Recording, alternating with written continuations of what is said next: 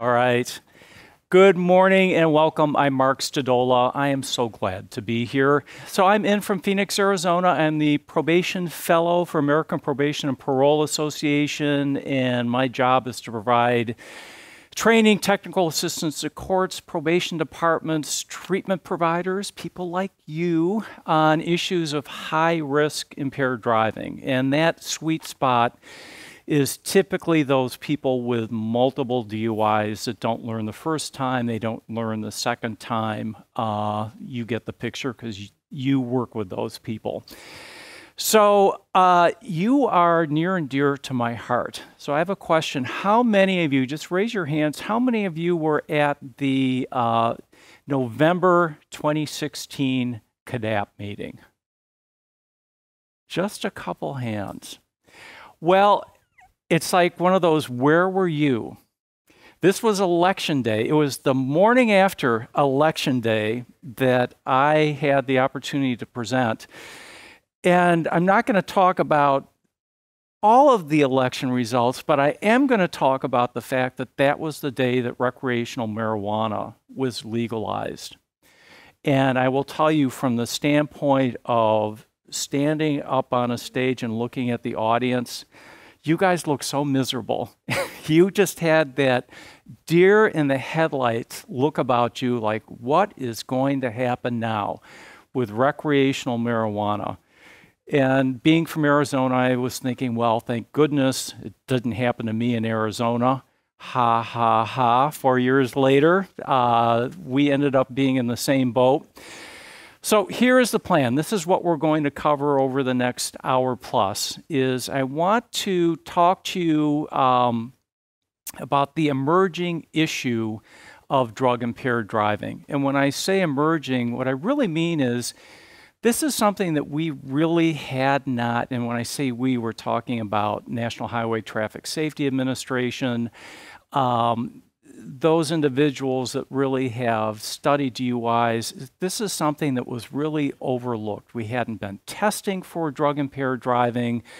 We hadn't really been putting our energy and our focus into it. And, folks, the things that we're finding out about this population uh, is shocking. So, the plan is I'm going to first of all give you a little bit of a background. I want to talk about the state of the state when it comes to uh, alcohol impaired driving, where we've made progress, and where we really have gone in the wrong direction. Uh, then I want to talk to you about marijuana and impaired driving, what we're finding. There's some really good, robust information we're getting from Colorado, which is really kind of ground zero when it comes to uh, impaired driving. They were the first state to legalize recreational marijuana. Uh, then we're going to really talk about all right, what do we do as providers? How can we best address uh, the challenges with this population as it relates to treatment, as it relates to testing, supervision, uh, how law enforcement is dealing with this? So, we're going to cover all this all within one hour or so. So I want to start with just a couple photographs to kind of frame this issue for you. So this first photograph that you are looking at was taken actually, I believe, in the Sacramento area. I know it was in Northern California. Uh, and this was a vehicle that ended up on the second floor. You heard that right. The second floor of a dentist office. And the reason that I bring this picture up is because of the fact that it was one of the first occasions where we found that newscasters were identifying this as drug impaired driving because typically when we talk impaired driving, it's kind of everything is put in this big umbrella, and the assumption is, well, they were drinking and that's why they got the DUI. So we found out uh, that really they're starting to look at this more as a separate, somewhat more unique issue. Backstory is this driver was using Coke and he hit a curb and he ended up in the second floor of the dentist office. Thank goodness the office was closed, so nobody was hurt. Uh, but that was kind of the, the backstory with this. Now, I am originally from a small town in Wisconsin. And a friend of mine from this small town sent me this picture that you're looking at of a, another flying vehicle. There seems to be a theme with drug impaired driving and flying vehicles. And the backstory behind this was again, a driver, this time smoking a whole lot of marijuana and drinking, uh, hit a curb and pancaked into the side of this house. And the article was priceless. The owner of the house said, Yeah, I heard a noise in my bedroom and thought I should check it out. And that's what he walked into. Again, the driver was not hurt and did acknowledge that he's, and I quote, smoked a little bit too much marijuana. So, and then the final photograph that I want to show you before I move on, many of you have probably seen. But when we're talking about drug impaired driving, I think this photograph is the most iconic photograph, at least that I've seen, that captures everything about uh, impaired driving. So the backstory of this is the couple in the front were heroin addicts. They went to their dealer to get a fix, and they decided that they couldn't wait to get home to use. They were driving back home. They both passed out uh, behind the wheel, and the photograph you're seeing was taken by the sheriff's officer in Ohio who came upon the scene. But the real focus of this picture is what you see in the back seat. Four year old boy who was the child of this couple that who knows what kind of lifelong impact this little boy is going to have. But this picture tells me not only the impact of this kind of driving with this couple and this little boy, but how does this impact our community? How does this impact the people that we care about? The innocent people that are on our roadways that may run into somebody, literally and figuratively, uh, who is impaired. So, this is really to me the face of what we're looking at when it comes to drug impaired driving. So let's start by talking about what we're seeing with DUIs driving under the influence of alcohol and where we've made some progress and where we have some real concerns, especially since COVID. Uh, some really dramatic changes that we have been finding. So let me throw some statistics at you. Uh, 2019, which was pre COVID, there were about a million individuals in this country arrested for driving under the influence of alcohol. And historically, that number has been pretty static. Uh, it may go up 50,000, 75,000, or down by that amount, but it doesn't really change all that much from year to year.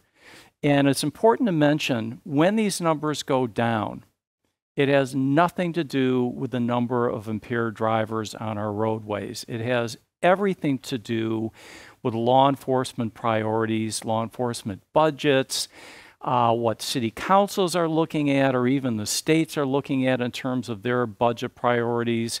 So, as much as I would love to say when you see these DUI numbers go down that we should all go out and celebrate, um, safely, of course, it really has nothing to do with the number of drivers on our roadways that are under the influence. And there's research to suggest that as many as one in five drivers in this country could be under the influence of something that is potentially impairing. It could be a prescription medication, uh, obviously, it could be something illegal, uh, but it gives you an idea of how pervasive some of these numbers are.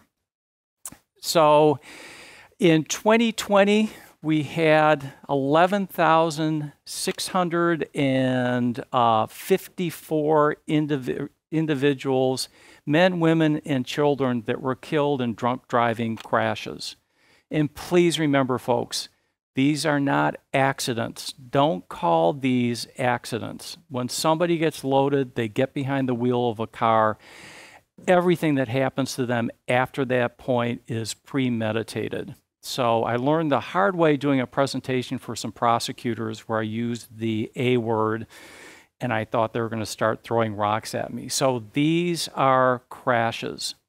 So a um, couple other things just to, to be aware of when we're looking at these numbers. So mentioned in 2019 about a million DUI arrests. If you look at the bottom bullet, 121 million drunk driving episodes that occurred in 2019. That's not 121 million drivers, that's episodes.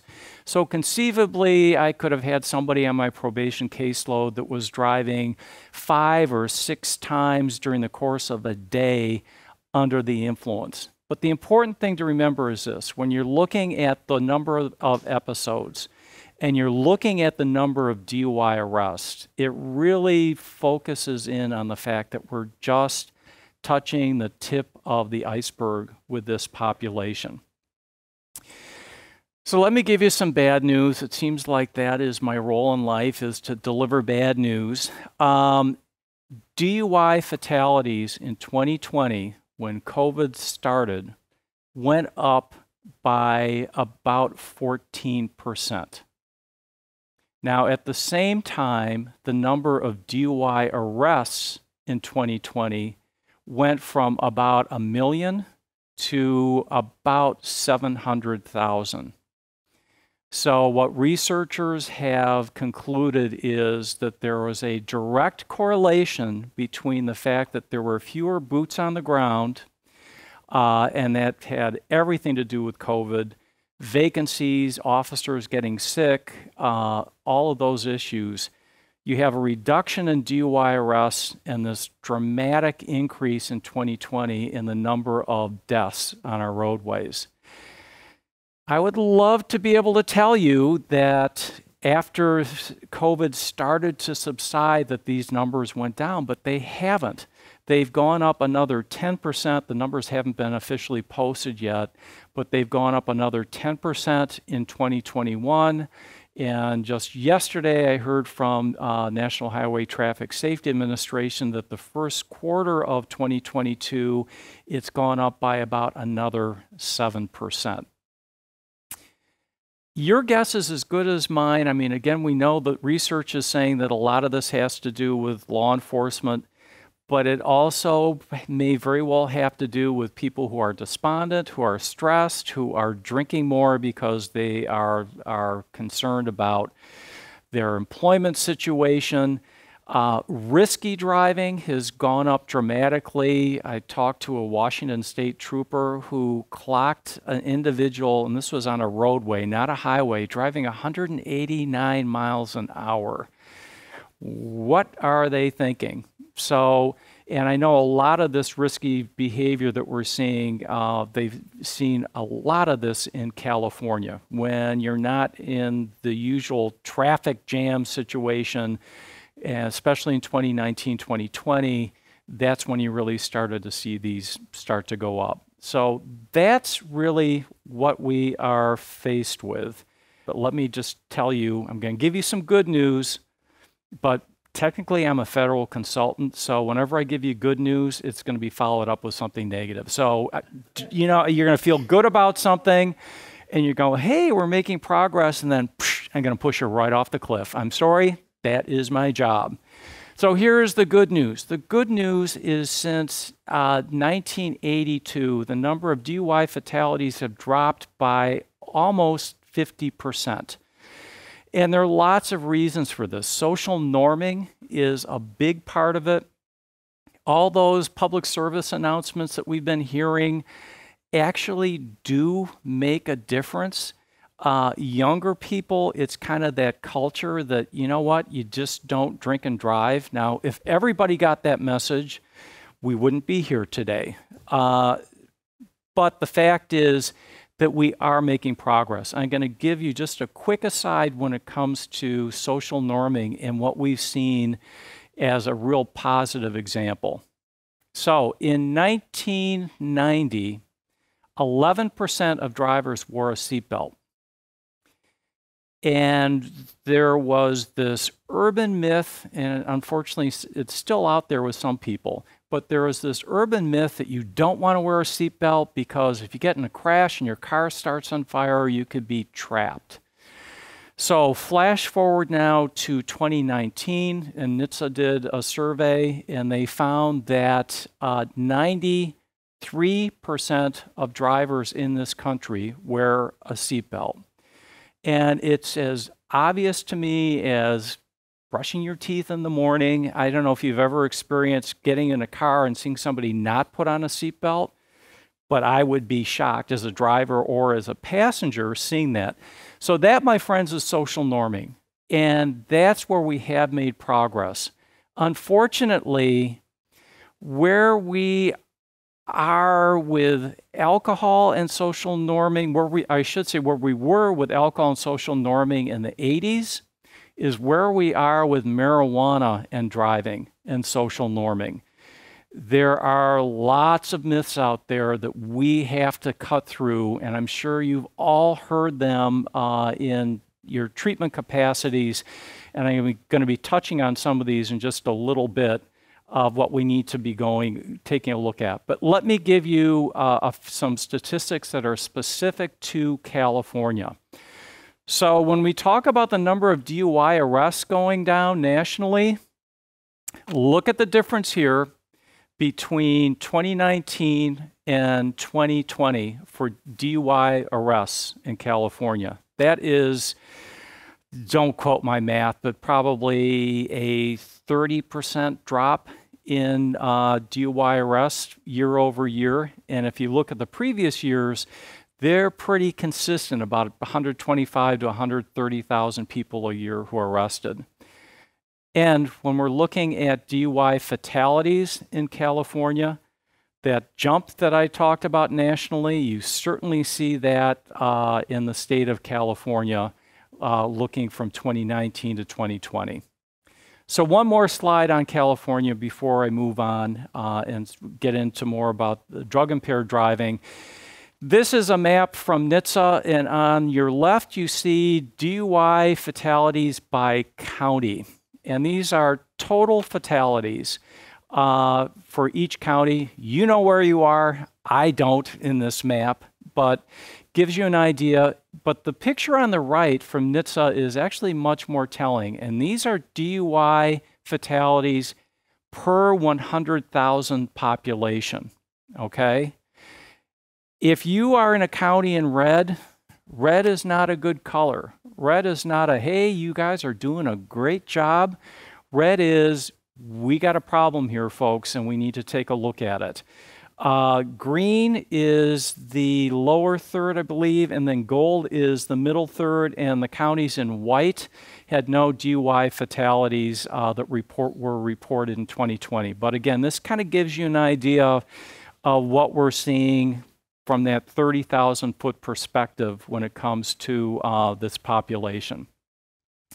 So, again, we've made progress when it comes to alcohol. We have actually learned a lot about this population. We have done a much better job in being able to really focus on uh, that high priority population, oftentimes the individuals with higher BACs, uh, the use of assessment tools has made a significant impact when it comes to working with the um, DUI population, where we can really look at those risk factors, those criminogenic risk factors, and better determine who are the people that really need most of our time and attention. And I'm going to be touching on that a little bit as it relates to impaired drivers uh, in a little bit. Let's get into drug impaired driving.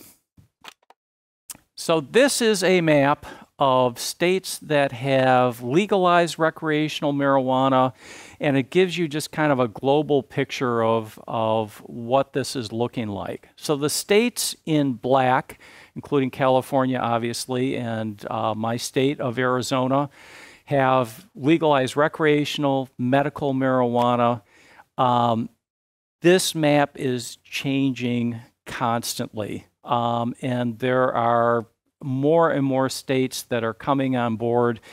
And usually, when you can start with medical marijuana, and then from there, it's you're uh, going to end up with recreational marijuana. So, there are a few states in orange where it is fully illegal.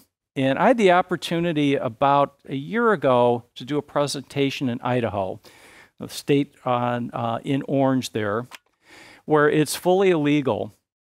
And I was in Boise, and Boise is about 45 miles uh, to the east of the Oregon border. And if you drive due west to Oregon, there is a small town with nine marijuana dispensaries there to meet the needs of the greater Boise metropolitan area.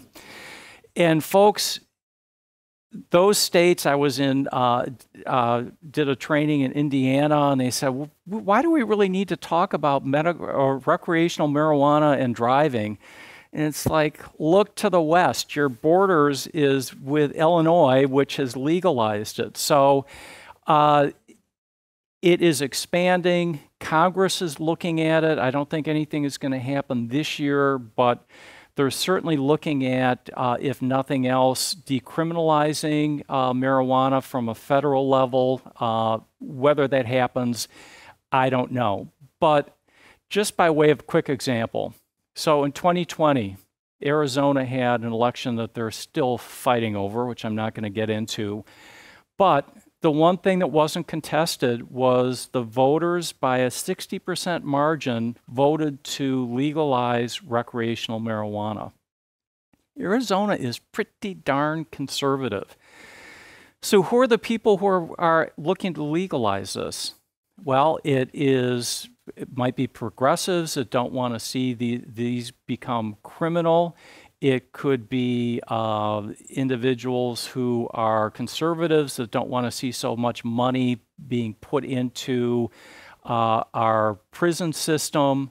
Uh, so it's people all over the political spectrum that draw the same conclusion. So you've been living this for a while, but uh, I think we're going to continue to see this growing uh, over time. Uh, so one of the questions and I'm not going to ask you to answer this, but ask yourself what you are seeing in your particular town, your jurisdiction, when it comes to DUIs. Are you seeing that this is a population where you're finding that meth or other drugs are involved? Or are you seeing that in your jurisdiction, maybe they're not testing for drugs? They're just, if you get that, the holy grail, the 0.08, that's all you need to concern yourself with. But whatever drugs are trending in your jurisdiction, you can pretty much bet that you're going to be seeing those uh, as it relates to your DUIs. So if fentanyl is is epidemic where you uh, reside, you're probably going to be seeing individuals under the influence of fentanyl with with their DUIs. So I have a little scenario for you. A law enforcement officer pulls over a driver and he's swerving on the roadway. Officer stops. They find that there is alcohol in his breath. There's a small bag of what appears to be marijuana in his possession. And they find a prescription for Percocet on the driver's seat. So, based what I am telling you, this driver is under the influence of marijuana, alcohol, Percocet, or beats the hell out of me, which would be my choice. We don't know. And that is really the overdriving issue when we're talking about this population. Now, you're not, officers typically are not going to have everything uh, that obvious to them, but we don't know with the DUI population oftentimes what they're really using. And there are a number of reasons for this. So let me talk to you about what we do know about the drug impaired driver and why oftentimes we know very little. And the first issue is this States and counties can be incredibly inconsistent when it comes to testing individuals, especially in fatality crashes when it comes to drugs. And by way of example, there are some jurisdictions where they only test maybe 10% of fatality crashes. There are others where they test for 90%. Same thing holds true when it comes to drug impaired driving, non fatality crashes. Uh, are blood tests being done? Maybe, maybe not. Um, and there are lots of challenges, time delays, the cost. Uh, I'm going to get into some of those in just a little bit. But all we can do is try to infer with what little information we have as to what we're seeing with impaired drivers and drug impaired drivers. The other challenge is you may have one county where the toxicology labs are testing for, say, four drug families uh, in fatality crashes, and another county that's testing for four. Three of the four are the same, and one might be different. So, all this adds up to a whole lot of inconsistency when we're talking about this population. The other issue we have is how people are actually using these drugs and when they're using these drugs. So, National Highway Traffic Safety Administration does this little exercise called roadside surveys. And this is what they do they will post signs on uh, off ramps of highways where they will offer individuals a $5 Starbucks gift card in exchange for answering a survey as to whether or not they were under the influence of alcohol or drugs. Folks, you can get people to do anything for a $5 gift, uh, Starbucks gift card. It's amazing. If you suspect somebody of murder, say, maybe this $5 Starbucks gift card will get you to confess. I did it. Yes, I did it. I confess. Anyhow, this is what they found. Now, if you look at the bottom line here for alcohol, and they, they have this separated by uh, weekday days and weekend evenings. So, weekday days with alcohol, a little over 1% of the people that were surveyed indicated that they had been drinking. Doesn't mean they were drunk. Maybe they had a beer with lunch, something like that. Weekend nights, you see that about 8% of the individuals surveyed again said that they had been drinking, which makes sense. You're going out for dinner, maybe you're going to a ball game. Uh, there's nothing surprising about that. Look at marijuana. There is essentially no difference between smoking during the day and smoking on the weekend. The social norms are not the same when it comes to alcohol and drugs for that matter. So, what does that mean? Time for work, time to fire up. Time for lunch, time for a gummy. Afternoon break, don't mind if I do. We can't anticipate the behaviors like we have historically been able to anticipate these behaviors with alcohol. It's a totally different beast. And when you look at uh, some of the examples with drugs and illegal drugs, you see much the same thing. This is not uh, something for celebrations and celebrations only, it's used 24 7. The other thing that we have to always remember when it comes to the DUI population is when you are using polysubstances. And folks, all the research is suggesting this is the biggest threat. It's not just smoking marijuana or just drinking alcohol, it's when you're combining multiple substances. It has a synergistic effect on each other. So it's not one plus one equals two when it comes to using multiple drugs and alcohol. It's one plus one equals three. So that's what we have to be mindful of. And I'm going to say this now and I'm going to repeat it a few more times. Folks, we can't assume. The person who comes in for treatment uh, in your program, we can't assume that alcohol is the only thing they're using.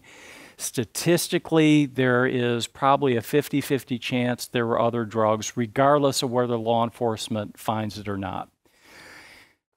I'm going to talk to you just for a minute about a study that was done, a very robust study that took place in a number of, of countries in Europe where they're looking at crash risk for different substances.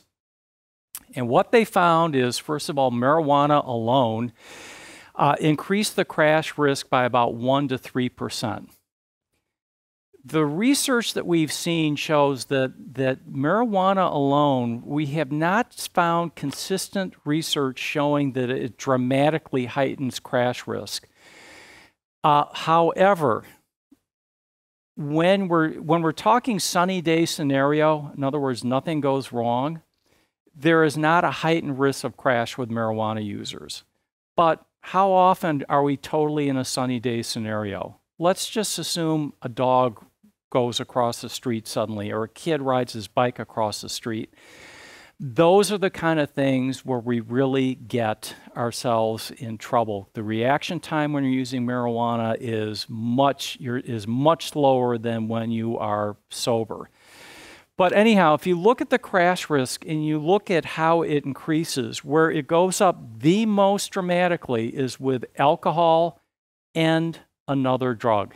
Alcohol, folks, is the magic elixir. When people are using alcohol and they're mixing it with other drugs, that's when the impairment goes up dramatically, and that's when the crash risk goes up. So, this is fairly new information that uh, came from Colorado, where they had tested individuals who were arrested for driving under the influence of drugs. And as you can see here, about 40% of these crashes involved alcohol, marijuana, and a third drug. So it's not necessarily just two drugs, it's more. So 40% is what we're seeing are polysubstance users using multiple uh, uh, drugs. I'm going to talk to you about three studies uh, that really, I think, bring this home. One was in Dade County, Miami, Florida. Second study was in Dane County, so Madison, Wisconsin. Third uh, study was in Orange County, California. And what they did is they had individuals who had been arrested for driving under the influence of alcohol. That's what the law enforcement officers stopped them and arrested them for. And they later drug tested these individuals. And they found in all three studies, very, very different populations. They found in all three studies that about 40% of these drivers had other drugs on board in their bodies in addition to just alcohol. So, and these studies are about eight years old. So I would venture to guess that you would see a much higher number uh, in these percentages today uh, with these studies being done than certainly uh, what you saw. This is before marijuana was legalized in California. I think those numbers would probably go up. So, other issues that we have marijuana is now the second most popular drug next to alcohol, which really is not a shock. Marijuana, especially when you're smoking it, has a very, very short detection window, about 30 minutes or less which from a law, law enforcement standpoint can be a real challenge. Uh, we have younger drivers that are smoking in greater numbers uh, than what we've seen in the past. Other issues we have uh, about a third of the individuals who use marijuana are daily smokers, and about 20% of this population uh, end up using about 80% of this product. Uh, marijuana prices have dropped dramatically, I think, because there's more competition between the, the uh, different providers, that, that that certainly has something to do with it. And this next issue is probably our most telling. About 50% of the, this country's toxicology labs test for drugs other than alcohol and DUI stops. Another way to put this is 50% don't, which again really kind of sets the table of who is this person that I'm going to be working with uh, in my treatment facility.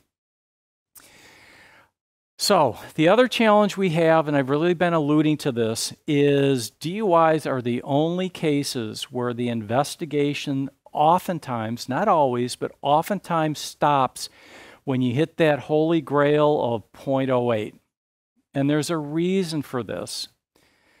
We've been studying uh, alcohol impaired driving for decades.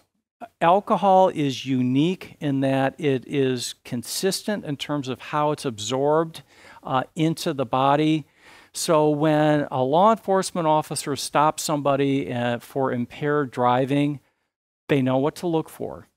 A prosecutor knows how to handle a DUI case. They've probably been working on these cases for years.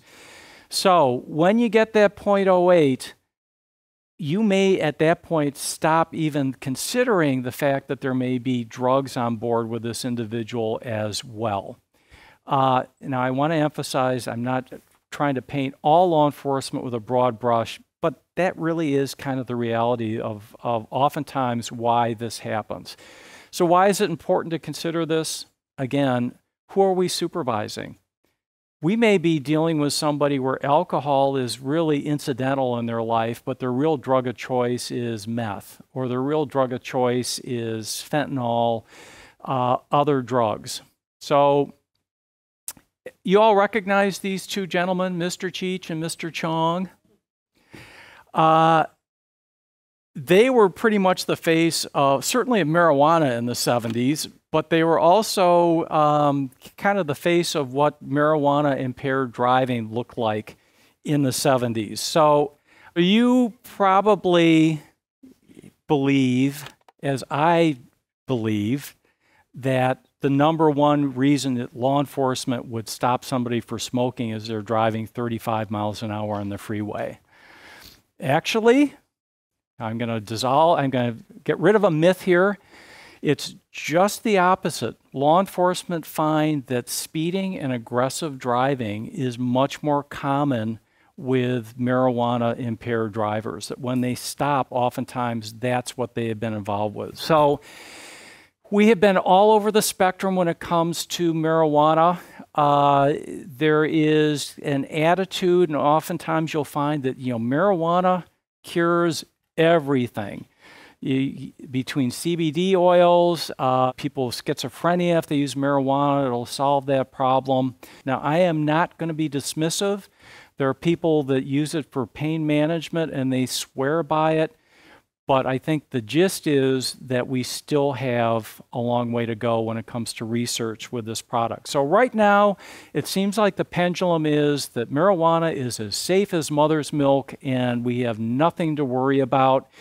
Uh, I am a child of the 60s, probably like a few of you in this room. My grandmother told me that if I smoked marijuana, I could become a sex offender or a jazz musician. So that was kind of those perceptions that we run into.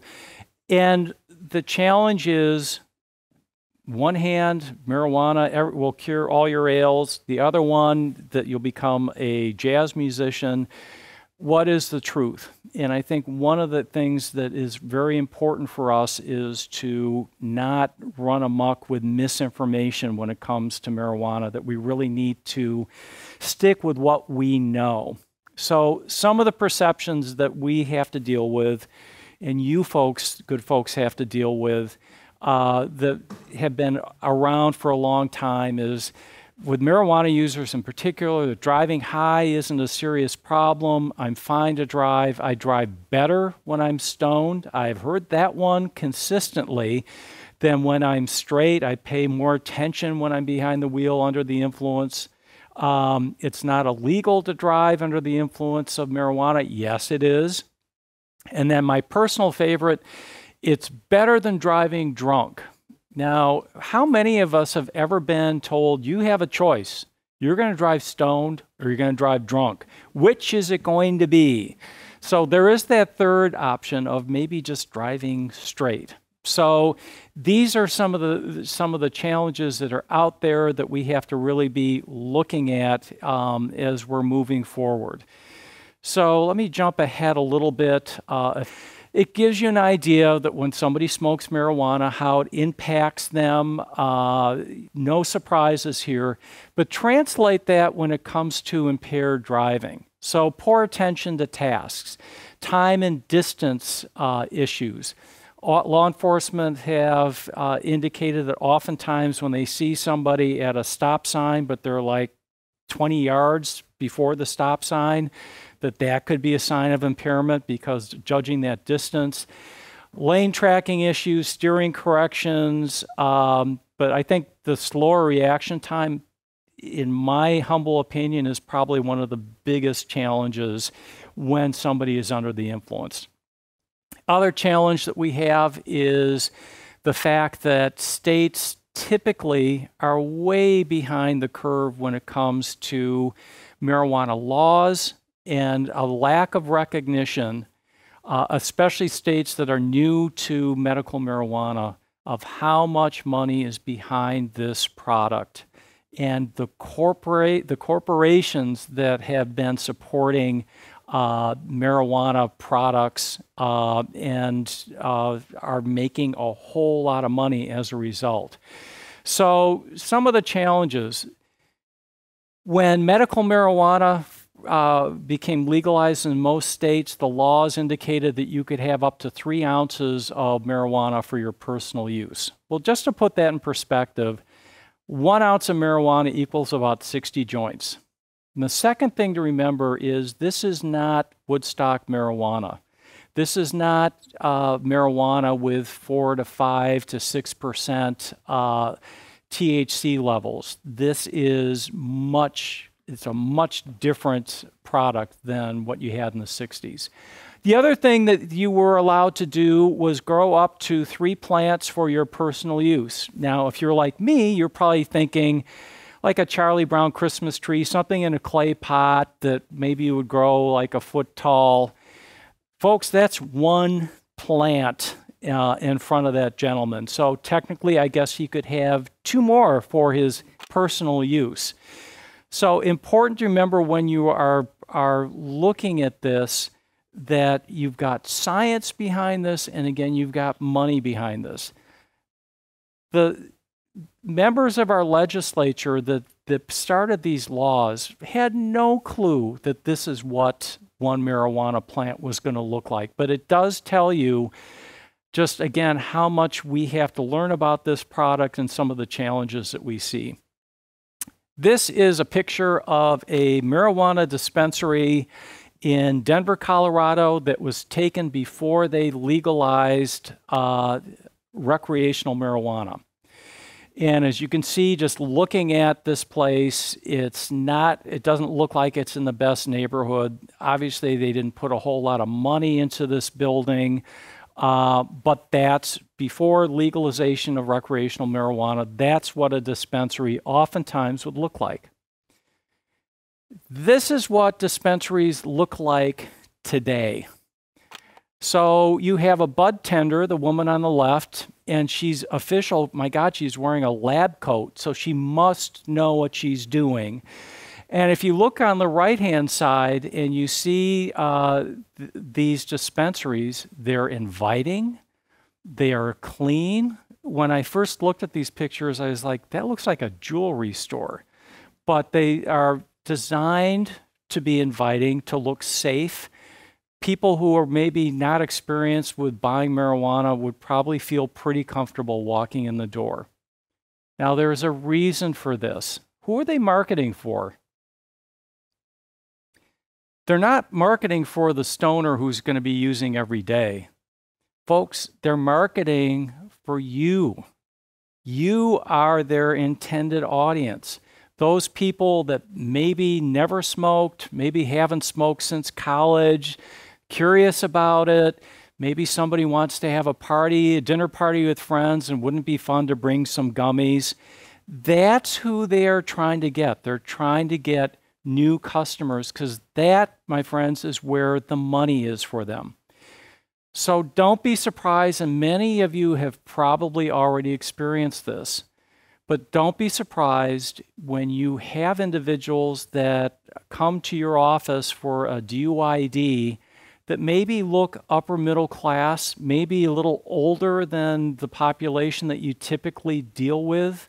Because if they're marketing for marijuana with that population, they're going to get DUIs and they're going to be arrested. So the downside of that might be is some of the same resistance that you get with alcohol impaired drivers of I didn't do anything. I'm not a criminal. I'm not like these other people. You may start seeing it if you haven't already when it comes to marijuana impaired driving.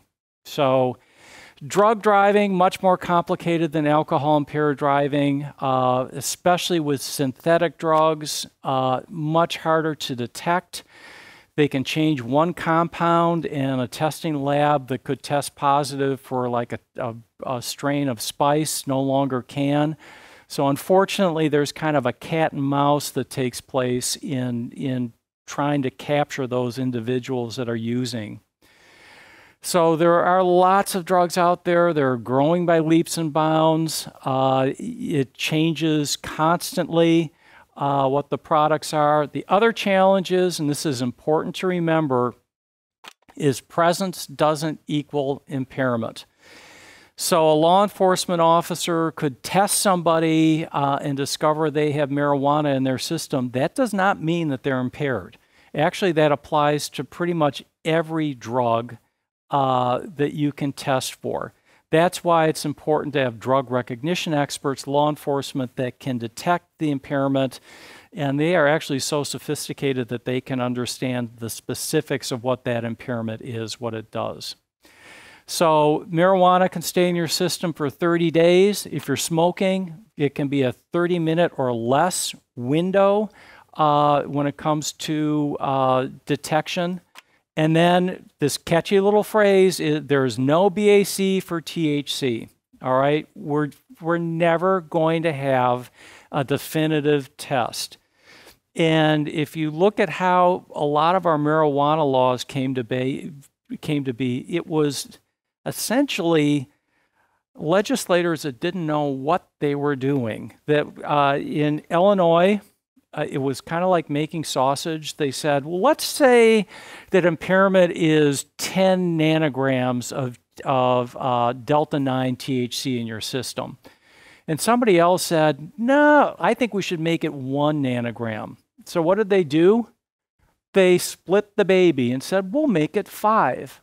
Now, I will tell you, a daily marijuana smoker with five nanograms of THC in their system is a walk in the park. You probably wouldn't know they're stoned. If it were me, I would be probably in a fetal position under my desk, weeping, and uh, wondering if I'm going to become a jazz musician. so that's why we're never going to have a definitive uh, uh, line where we can say, this is it and this is uh, what we're going to be seeing. So, how this product is ingested matters. Smoking obviously is going to be number one, but especially for new customers, you're seeing new products that are out there.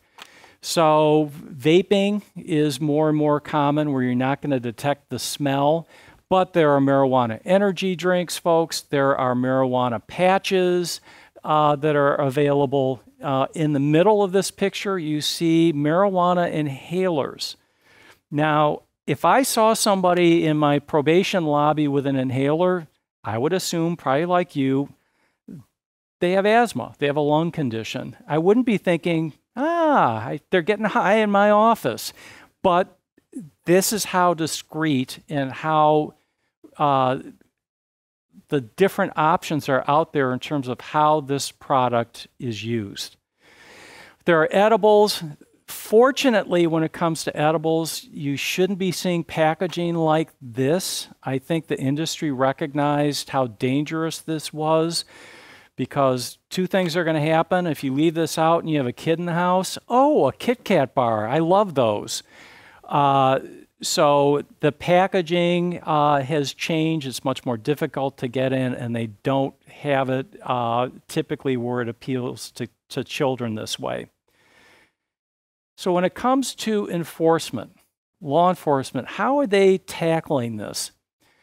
Uh, it's a challenge. It is a huge challenge for law enforcement to try to get ahead of all this. Perfect example. If you saw, uh, if a law enforcement officer saw an individual driving a car and this is what they saw, would they stop them? No, they absolutely don't have grounds to. If they had rolled a joint and they were smoking and the, and the officer could smell it, absolutely they could stop them. So detection is much more challenging today, certainly than it was uh, before all the technology got involved when it comes to uh, smoking. Law enforcement training to become a drug recognition expert, which is really the gold standard for law enforcement, takes about one month of training. In, addition, you have to have an annual training, refresher trainings so imagine this for law enforcement on top of all the other trainings that they have to deal with. So the number of officers that are boots on the ground that are trained as drug recognition experts uh, or even uh, experts in terms of, of doing standard field sobriety tests are not what we need. And some of you can probably relate to this what happens to an officer that is gung ho about doing uh, uh, training to become a drug recognition expert? They get promoted. They're no longer boots on the ground. Okay? Not the officer's fault, but that is kind of the reality. But these are the different ways that officers can uh, try to detect drug impaired driving through this training. Uh, not all officers have these tools, not anywhere near as many as we should. Oral fluid testing uh, is really, I believe, our future when it comes to testing. It's going to be distant future, but it's part of our future. So I'm going to show you just uh, give you an idea of some of the products that are out there that law enforcement is using. And there are some jurisdictions that have these tools in their squad cars. And what they can do is it's an oral swab and it will detect the presence of drugs.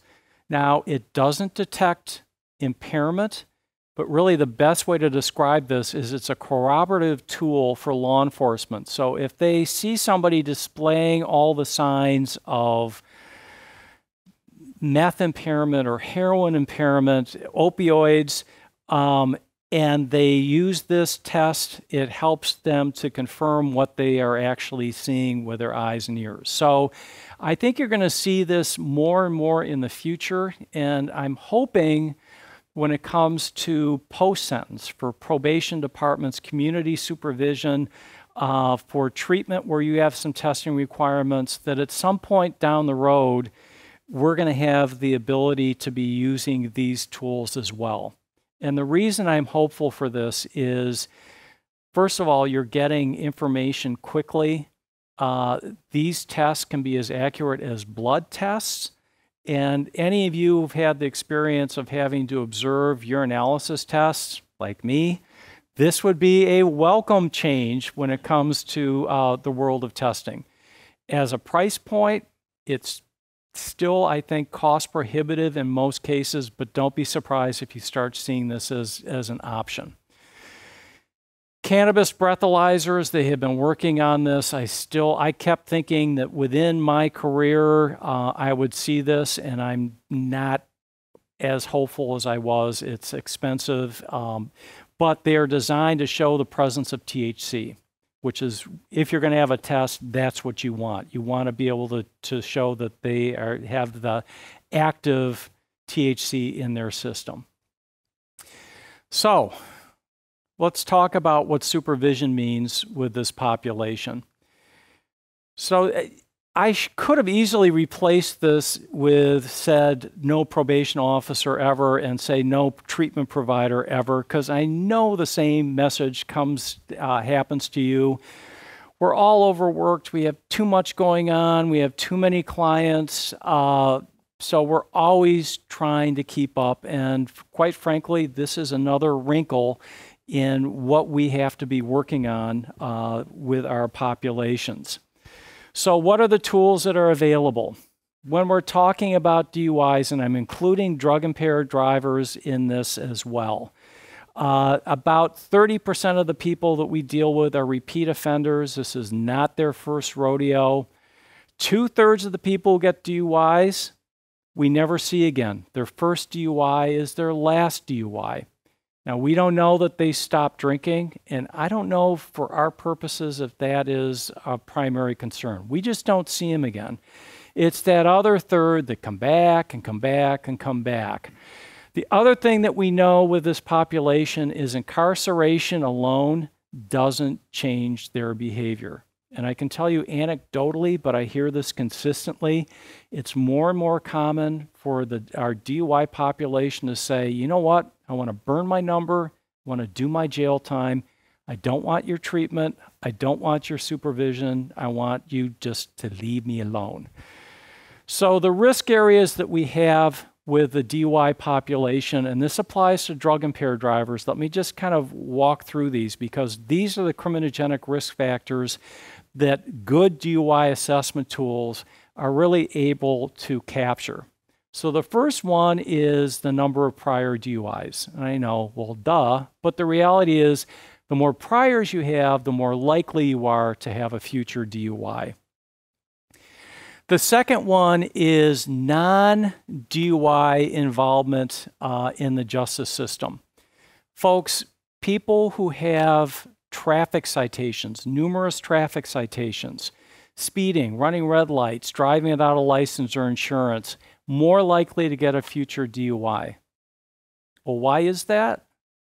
What's their attitude towards authority? What's their attitude towards others? Also, those people that have non DUI criminal activities, so thefts, drug charges, for the same exact reasons that we're talking about. Third factor that we have is polysubstance use. And I think I've beaten that horse to death, but you get the idea. Those individuals, let's say that you're going to put an uh, ignition interlock on their vehicle, they can flit ooh, my gosh, I can't drink. Well, I've got weed. I've got whatever is in my grandmother's medicine cabinet to use, and I'll keep using. So, the polysubstance using population. Fourth factor mental health and mood adjustment. 33% of men, 50% of women with multiple DUIs uh, have a diagnosable mental health condition. And PTSD can be up there. Uh, if, if any of you are involved with veterans courts, oftentimes DUIs are that entry point for individuals to get into veterans courts. Uh, but depression, the important thing to remember is if we're not looking at what's going on with their mental health, we can be really, really missing the boat with this population. And then the final one is past noncompliance with attempts to uh, address these behaviors. So those people that didn't complete uh, your treatment program. Uh, people who don't complete or don't abide by ignition interlock, strong, strong predictor of a future DUI. Um, those people that don't complete probation, uh, major factor as well. So these five factors apply not only to alcohol impaired drivers, but they also apply to drug impaired drivers. So there are assessments that can capture this. I do training on the impaired driving assessment. Shameless plug on my part to mention that. But um, it is a tool that's being used typically post sentence by probation departments. And uh, just FYI, it is free. All the training is free. Uh, it was developed and paid for by uh, NHTSA. So there are some good tools that are out there that can capture some of the risk and some of the uh, needs that are available with this population. But what we believe is these assessments should be what we use to drive decision making, especially when it comes to supervision, so that we're really focusing on the major risk factors for these individuals. Folks, I've been around long enough that uh, back in the day, as a young probation officer, when I'd ride a horse and chariot to work, the message was follow the bottle and that was really what we were told is just keep people separated from alcohol and uh, test them a lot and you'll be fine That worked exactly never when it came, at least with my experience working with this population. So using these assessments can really help. Now, what about using ignition interlock device? If you have somebody who's on for drug impaired driving, does it make sense to use this tool? And the answer is yes. Remember, polysubstance abusing population. So if they were stopped for marijuana, don't think if you're going to be testing that they won't start drinking. So there's not a downside to using uh, ignition interlock. And for some of you, I'm not sure the laws in California, you may be required to use those. Where do you put these people in terms of problem solving court? Does a drug impaired driver go to a drug court? And the answer to that is no. They go to a DUI court. And the reason is we're addressing the behaviors that lead to these actions. And uh, a DUI court is really where we want to place these people. Uh, ready to wrap up here. I do have just a, a couple things I want to end with why your work is so incredibly important. You're not just impacting the individual who is sitting in your office uh, or in your group. You're impacting their families, you're impacting their spouses, you're impacting the community. So it's important, I think, that we remember just how significant this problem is and how important all your work is. So, with that said, thank you all so much. I appreciate it.